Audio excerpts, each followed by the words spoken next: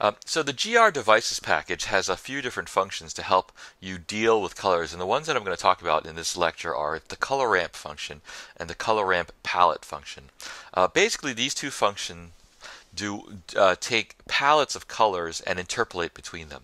Uh, so the, the, the model that you can think of is basically you know if a painter has a, his palette or and uh, there are uh, four or two or three blotches of specific colors on that palette. And then what you might do is take your brush and kind of mix between the various colors of the various uh, blotches on that palette to make new colors that are blends of the original colors that you had on the palette.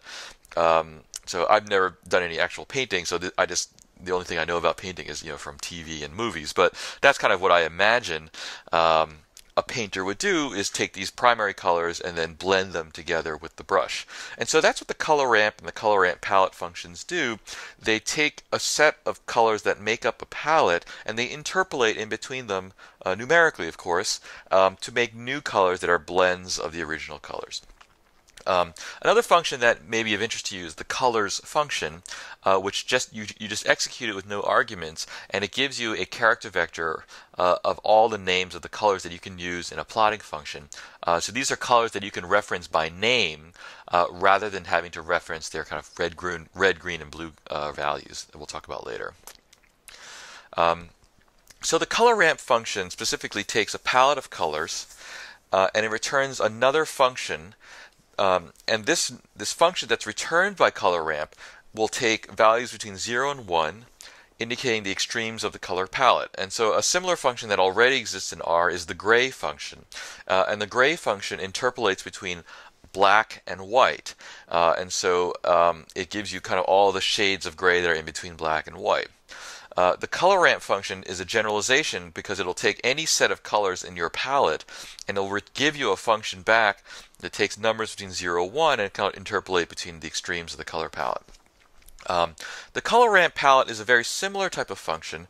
Uh, it takes a palette of colors, and what it does is it returns another function that rather than taking a, a value between 0 and 1, um, it takes an integer argument uh, and will return a vector of colors interpolating that palette. So this is similar to the heat.colors function or the topo.colors function.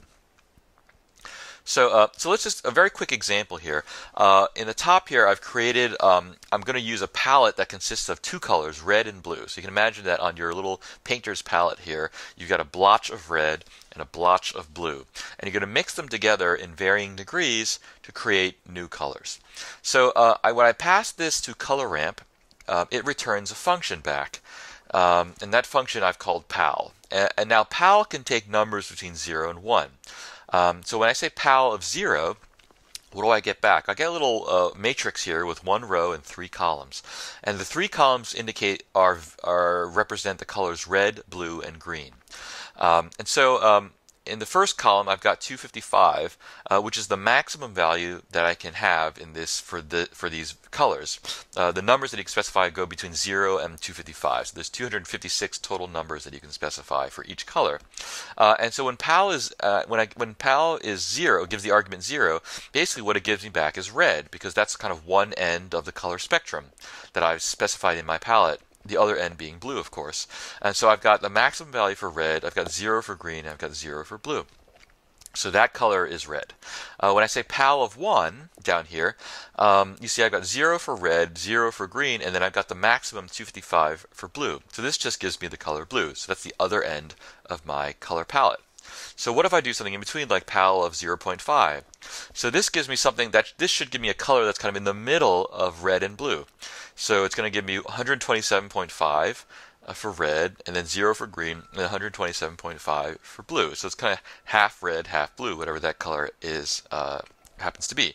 Notice that there's no green in any of these calls because um, uh, when you interpolate between red and blue, you don't encounter green along the way.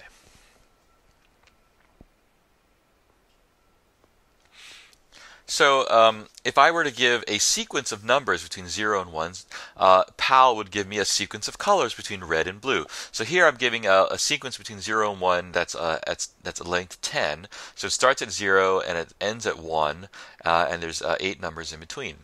And so when I pass this sequence to PAL, you'll see at the very top here, I've got, I start with red, so it's maximum red, and then zero for green, zero for blue. And I slowly reduce the red amount and increase the blue amount until I get to the bottom here where I've got all blue and no green and no red. So those are the various colors that you get in between red and blue as you interpolate the palette.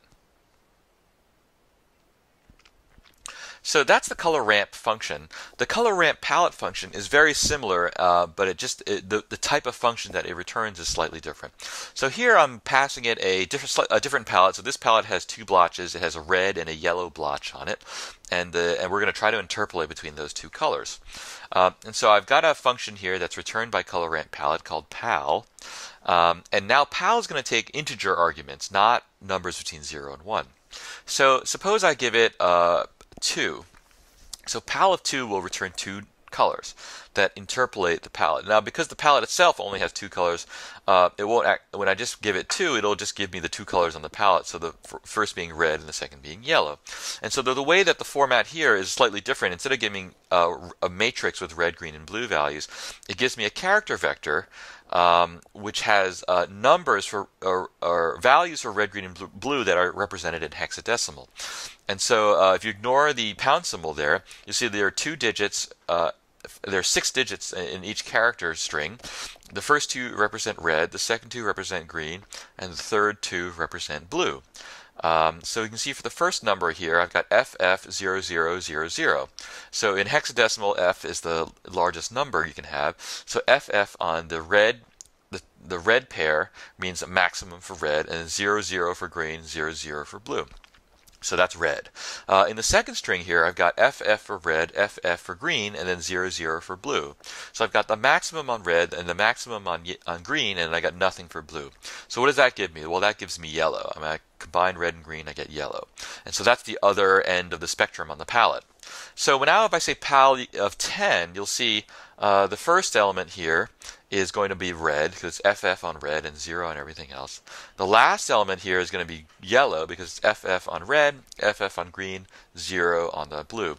But then in between I've got my interpolation of colors. So uh, you'll see that there's there'll be uh, there'll be there'll be some red, and then there'll be mixing a little bit of green uh, as you go along here. For for all the colors, there's no blue because you don't encounter blue when you interpolate between red and yellow.